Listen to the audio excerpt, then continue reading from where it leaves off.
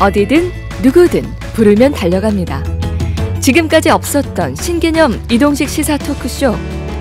우리가 몰랐던 그러나 우리가 알아야 하는 크고 작은 현안들을 콕콕 짚어봅니다. 시시콜콜 택시. 오늘의 주제는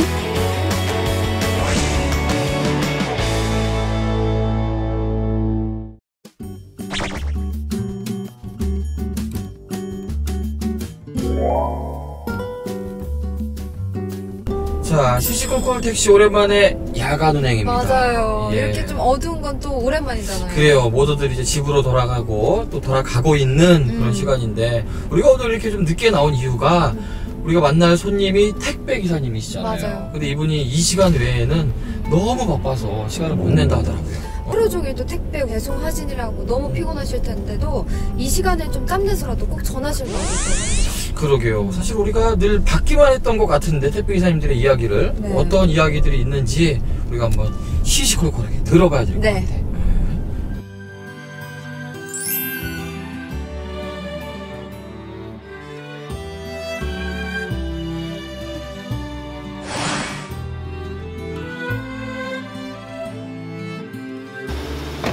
안녕하세요. 안녕하세요. 아이고 안녕하십니까. 너무 많으세요.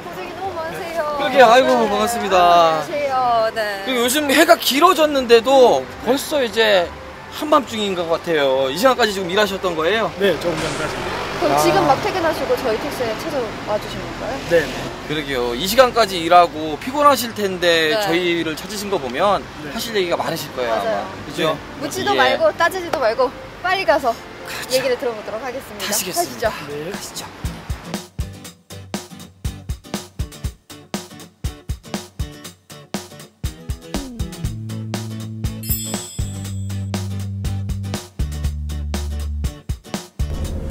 하루 종일 운전하셨죠? 네, 운전하고. 예, 운전하고 타- 배달하고 타다 하시다가 이렇게 다른 사람이 운전해 주시는 운전해 주는 차를 타니까 조금 편하세요? 어떠세요? 불안하네요. 어떻게 오늘 안전운전 필수입니다. 아유, 안전하게 네. 모셔야 될 것 같아요. 오늘 예. 몇 시에 출근하셨어요? 출근은 한 7시쯤에 했습니다. 아침 7시부터 그럼 지금 저녁 8시, 9시가 다 돼가는 시간까지 일을 하신 거네요. 야, 아니 보통 하루에 몇 박스 정도, 상 몇 상자 정도 이렇게 배달하세요? 그러면? 그 개인 능력의 편차는 좀 있는데 예. 우리 택배 노동자들은 평균 한 200에서 250 상자 정도. 200에서 250 가구를 또 들린다는 얘기가 되는 거니까 네. 그러면 24시간 중에서 일하는 시간이 보통 평균 작게 하시는 분들은 뭐 한 10시간 정도 하시고 많이 하시는 분들은 한 10, 한 4, 5시간 정도 하시고 평균 한 12시간 이상은 한다고 봐야죠. 아, 그럼 일주일에 이렇게 몇 번 일을 하시는 거예요? 어, 토요일까지 일하고 일요일 하루 쉬고 있죠. 주, 월, 화, 수, 목, 금, 토, 6일에 그렇죠. 하루에 15시간씩 15시간. 근무를 하시니까 이 노동 강도가 어마어마한 맞아요. 거예요. 네. 사실은.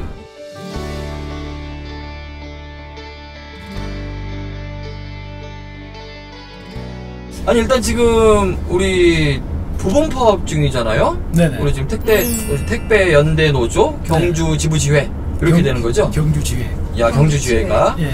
지금 부분 파업 중이니까 어떤 이유로 부분 파업 중인지 그 이야기를 좀 일단 간단히 들어보고 시작할게요. 경주 지회에 있는 우리 다섯 개 대리점 그 조합원들은 어, 아무도 그 위수탁 계약서가 없어요. 음. 그 만약에 근로자라고 치면 이제 근로계약서가 있듯이 저희 같은 경우는 특수고용 노동자라 그 대리점과 택배 기사 간에 위수탁 계약서를 작성해야 해야 하는데 어, 첫 번째로 그런 계약, 계약서가 없어요. 계약서가 없음으로 해서 모든 업무적인 것에 대한 불이익을 많이 받고 있는 거죠. 경주 지역 택배 기사들이 노동 여건 개선과 노조 활동 보장을 요구하며 부분 파업에 들어가면서 사태가 장기화하고 있습니다. 노조는 사측이 합법 노조와의 교섭을 회피하고 쟁의 행위를 고의적으로 방해하고 있다고 주장하는 반면에 사측은 자영업자인 택배 기사들의 노동조합을 인정할 수 없다는 입장입니다. 일단 지금 이야기를 보니까 다양한 여러 가지 이야기들 중에서 노동 여건에 대한 이야기부터 우리가 좀 들어봤으면 좋겠어요. 네. 일단 우리 택배 기사님이 되려면 택배를 하려면 네. 본인이 비용해야 되는 개인적인 부담도 굉장히 많다고 들었거든요. 네, 일단 기본적으로 배송을 하려면 차가 있어야 되잖아요. 예. 그러니까 탑차 우리가 부르는 용어로는 탑차인데 화물차가 있어야 하는 거고 그 다음에 거기에 또 배송을 하기 위해서는 뭐 전산 장비라든지 뭐 여러 가지 이제 부수적인 물품들을 다 본인이 직접 사비로 들여서 구비를 해야죠. 테이프도 사야 된다는 네네네 박스 테이프 뭐뭐 라든지 송장 그 택배 받으시면 왜 위에 이렇게 송장이 배달 송장이 이렇게 붙어 예. 있잖아요. 송장도 다 개인이 부담해서 사야 하는 거예요. 그러면 자 차에 네. 송장 그 거기에도 송장을 붙이는 그 테이프까지 개인 부담금이라는 그렇죠. 건가요? 네네네. 아니 뭐 택배가 중간에 운송 중에 깨지거나 상처를 입어도 맞아요. 그거는 오로지 예 그거 뭐 기- 기사님 기사님들 책 책임이라던 얘기 듣는데 그것도 맞습니까? 네네네 기사들 부담이 어, 그 스트레스를 많이 받죠. 어... 아니 그러면은 네, 택배 억울함도 기사님들의 많고. 이 네. 임금 구조가 어떻게 되는 거예요? 저희가 만약에 네네. 3천 원 정도가 요즘 보통 택배비를 택배비죠, 하니까 네. 이렇게 주문을 하면 네. 수수료가 이렇게 나오실 거 아니에요? 네네. 그럼 구조를 일단 좀 알아야 얘기가 좀 더 진행이 될 것 같거든요. 평균적으로 네. 우리 택배 노동자들이 수입 그 기본적으로 받는 수수료가 한 700원에서 800원 정도로 나와요. 한 한 건당 건당. 이제 네. 된다는 얘기 죠. 네. 근데 이 수수료는 지금 맞아요. 택배 시장이 굉장히 커졌잖아요. 네네. 좀 수수료 포인트가 좀 올라가고 인상이 되고 있는 건가요? 어떤가요? 어, 제가 알기로는 제가 하는 동안에도 한 번도 수수료는 오른 적 없고요. 그리고 한 십몇 년 동안 수수료는 한 번도 오르, 올라간 적이 없다고들 많이 말씀하시죠. 오래 하신 분들은. 소위, 소위 말해서 일할 맛 안 나겠네요. 그렇죠. 지금 물가는 계속 올라가는데 제가 8년 동안 택배 에 종사하면서 물가는 계속 올라가잖아요. 기름값이라든지 생활 물가는 자꾸 네. 올라가는데 회사에서 주는 수수료는 올라가지 않았음에도 음. 중간 과정에 있는 대리점 수수료는 오히려 더 올랐어요. 그러겠어요. 예, 대리점 수수료가 더 오름으로 해서 저희 수익은 더 떨어진 거죠. 그러니까 그 부분이 좀 네. 특이하지 않아요, 수민 씨? 네, 맞아요. 어. 아니 그러면은 대리점이 수수료를 떼간다는 건 네. 대리점 내에서의 일이 있다는 건데 네. 대리점은 어떤 역할을 하는 거죠? 거의 사무 택배 기사가 배송 집하 이 업무만 하는 게 아니고 네. 사무 업무도 조금 들어가거든요. 네. 고, 뭐 고객센터에 응대해야 되는 부분이라든지 아니면 물건을 배송을 갔는데 고객의 전화번호가 틀렸다든지 네. 뭐 고객이 장기간 부재라든지 이런 부분을 사무적으로 처리해야 해야 되는 부분이잖아요. 근데 이제 택배 기사 바쁘다 보면 그런 부분들을 조금 사무실에 이제 대리점에 위탁해서 처리하기도 하는데 네. 거의 대부분의 업무는 택배 기사들이 하거든요. 음. 조금 불편해도 저희가 그건 하면 돼요. 조금 시간 내서 좀 하면 되는 예. 거고 한데 오로지 이제 회사의 필요에 의해서 이- 이를테면 100명의 기사가 있으면 본사가 100명을 다 개별적으로 관리하기는 힘들잖아요. 네. 그러므로 해서 대리점을 만약에 한 3개 정도 만들어 놓으면 이 3개 대리점 사장만 소장만 관리를 하면 되는 거니까 아. 회사로서는 엄청 관리하기가 편해지죠. 저 택배 회사 입장에서는 네. 기사들 관리가 확실해지니까 네. 또 본인들이 기사들이 어떻게 일을 하고 있는지를 제대로 그때 그때 확인 가능하고 하니까 대리점 제도를 두는 거군요. 네. 아, 근데 그 대리점들도 네. 보니까 대리점마다 수수료가 또 다르다고 맞아. 얘기가 있더라고요. 네, 각 그 대리점 상황에 따라 다르다 다르게 이렇게 책정이 되는데 그것 또한 우리 택배 노동자들은 맞지 않다고 보는 거죠. 같은 현장에서 같은 업무를 함에도 불구하고 어떤 대리점에 소속되어 있냐에 따라서 뭐 수수료가 차등이 생긴다는 건 불합리하다. 그래서 어느 정도 표준 계약서를 통해서 최저 수수료 가이드라인을 정하고 적어도 같은 지역에 있는 택배 기사들은 같은 적용을 받아야 되지 않냐는 게 저희의 주장인 거죠.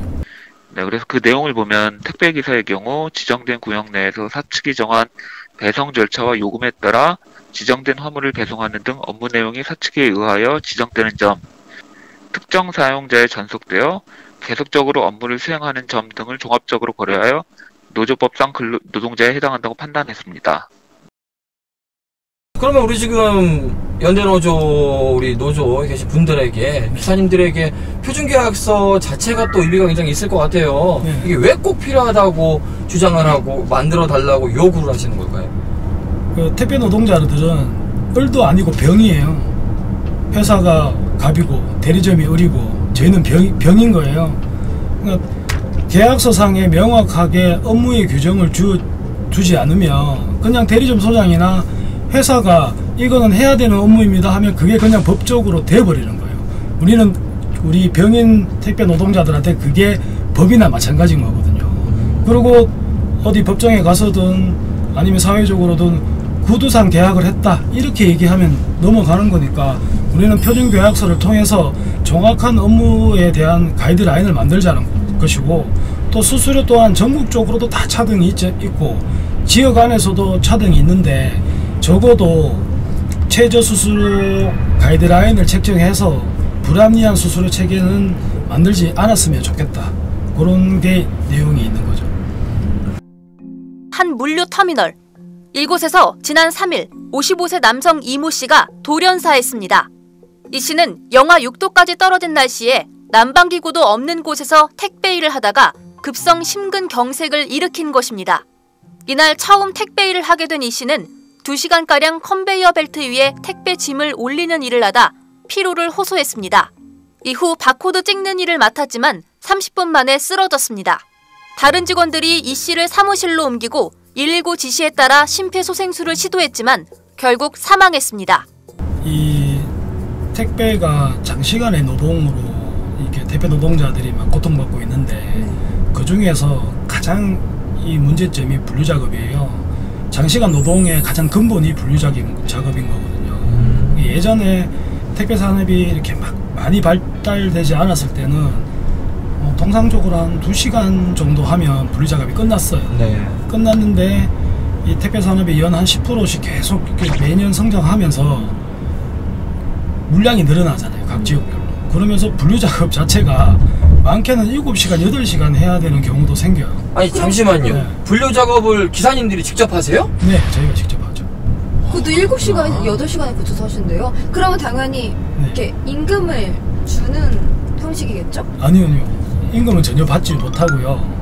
저희가 이게 택배 노동자들은 무임금 공짜 노동이라고 주장을 하고 있고 또 회사 입장에서는 관례적으로 해오던 것이다 이렇게 이야기를 하거든요. 근데 관례적이라는 건 한 두 시간 할 때 이야기인 건데 그렇죠. 그 옛날 7시간, 얘기죠. 8시간을 네. 관례적으로 시킨다는 건 말이 안 되는 거고 그렇다면 또 회사에서 주장하는 건 분류 작업에 대한 노동의 대가는 수수료에 다 들어가 있다 녹아져, 녹아져 있다고 얘기하는 건데 그러면 십몇 년 동안 택배 수수료는 기자들이 받아가는 수수료는 한 번도 오른 적이 없는데 그러니까요. 10년 분류 작업 동안. 시간은 자꾸 늘어나는데 그러면 도대체 분류 작업에 대한 노동의 대가는 얼마만큼 들어가 있는지 그러면 배송에 대한 대가는 또 거기서 얼마만큼 들어가 있는지 명확하게 기준을 정해주든지 근거를 제시하든지 그렇게 해야 되는데 그렇게 제시하지, 제시하지도 않고 그냥 관례다 배송 수수료 안에 들어, 녹아, 들- 녹아 들어가 있다 그냥 이렇게 막연하게 예- 이야기해서는 안 된다는 거죠 아니 일곱 시간이 말이 일곱 시간이죠. 그만 한나절을 다 분류 작업에만 쓰시겠네요 하루에. 그 최고 심할 때는 명절 성수 명절이 성수기잖아요 예. 그때는 오후 4시에 배송 출발을 해본 적도 있어요 아침에 출근하셔서 오후 4시까지 분류 작업만 하고요. 네네네 오후 4시부터 배송을 하는 거예요. 네네네 그것도 계속 서서 와. 아 저희는 당연히 네. 분류 작업을 하시는 분들은 또 따로 있는 줄 알았어요. 근데 저는- 그게 또 대리점의 역할이고 네. 그렇게 생각을 했었는데 아니었네요. 이미 다 나눠져 있는 상태에서 그냥 기사님들이 배송만 해주시는 줄 알았거든요. 그렇죠. 그렇게 되면 얼마나 좋겠어요 그러다 보니까 이 택배가 늦게 도착을 할 수밖에 없는 상황이 되는 거고 또 오후 시간에 배송이 되는 건가 봐요. 저는 사실 택배를 받는 입장에서 어, 기다리잖아요. 음. 택배 이- 왜 이렇게 안 와? 이러면서 좀 오전에 왔으면 좋겠는데. 네, 그렇죠. 그래서 어. 기사님한테 혹시 오전에 배송 가능할까요? 라고 문자도 넣고 한번 그랬었는데 아, 괜히 죄송해지네요. 그럼 지금 상황으로는 오전에 배송을 한다는 건 거의 힘든 상황이겠네요. 지금 현재 시스템으로는 오전에 배송하는 건 거의 힘들죠 아,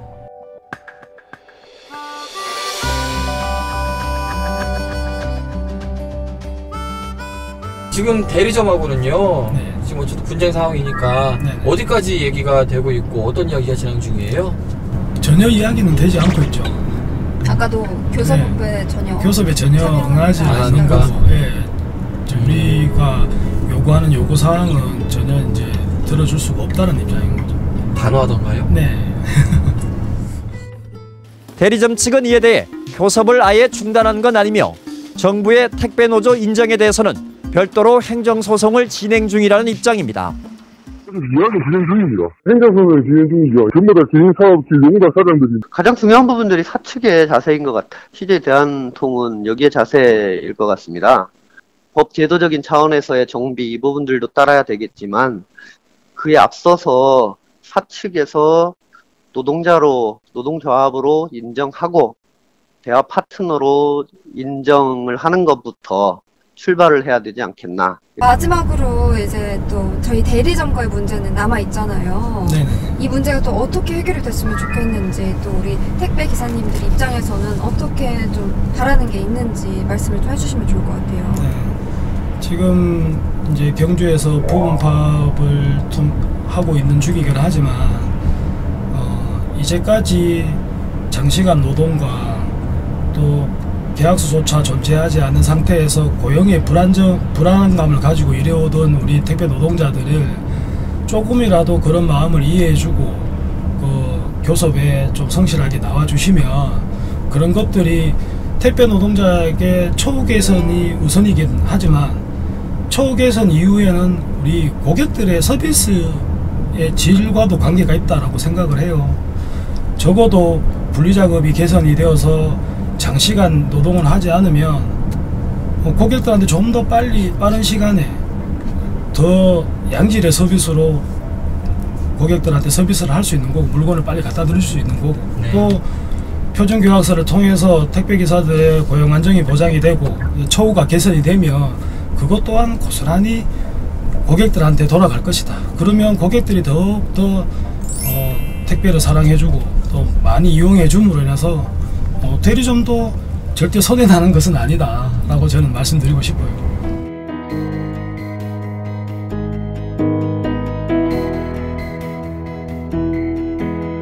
워낙에 노동 강도가 높고 노동 시간이 기니까 퇴근 후에 자기 생활이 거의 없을 것 같은데 그 부분은 어떠세요? 평일에는 거의 일 마치고 집에 들어가면 잠만 자고 다시 나오는 격이죠. 그리고 일요일 하루 쉴 때는 거의 이제 바닥과 등이 붙어 있는 수준. 어디 나가지를 못하죠. 체력을 회복을 해야 하니까 6일 동안. 가족들에게 때 제일 미안하겠네요. 네, 애기들한테 제일 미안하죠. 많이 아. 못 놀아줘서.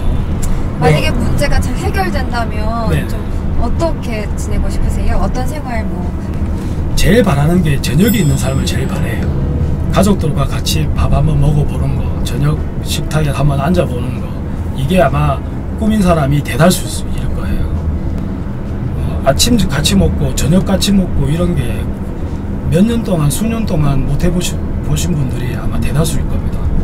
우리 지회장님은 어떠세요? 가족들하고 한 달에 저녁 같이 먹는 시간, 저녁 먹고 아이들하고 좀 놀아주는 시간 며칠이나 되세요? 한 다섯 손가락도 안 될 것 같아요. 한 달 내도요? 네.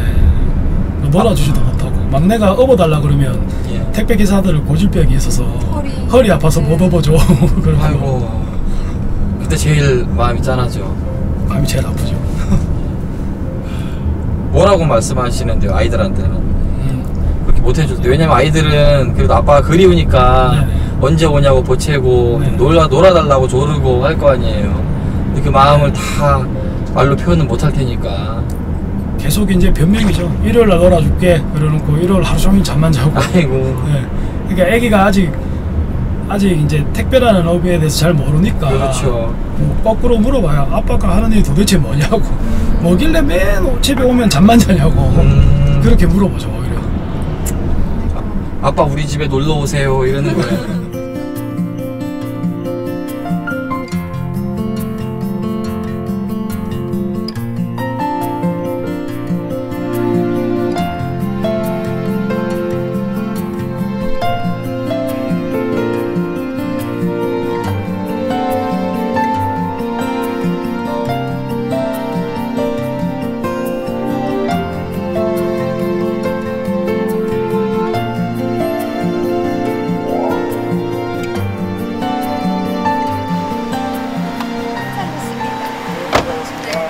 말씀 잘 들었는데 저희는 벌써 시간이 밤 10시가 다 돼가요. 예. 오늘도 가족들하고 밥 먹기는 틀렸고 아이들하고 못 놀아주셨네, 그죠? 네, 자는 것만 더해줘.